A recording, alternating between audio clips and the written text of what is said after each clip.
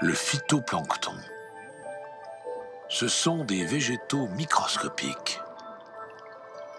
Ils sont à la base du réseau alimentaire océanique. Pour se développer, ils utilisent l'énergie solaire et les nutriments dissous dans l'eau.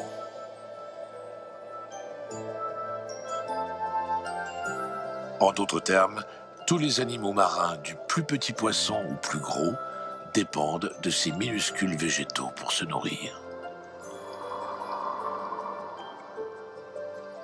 À son tour, le phytoplancton survit grâce aux nutriments évacués par ces animaux.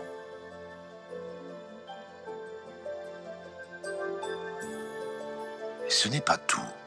Le phytoplancton fournit plus de la moitié de l'oxygène de la planète.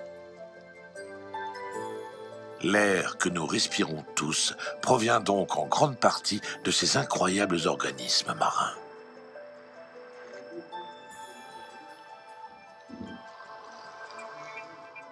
Quand les conditions sont réunies, ils prolifèrent et teintent de vastes étendues d'océans en verre.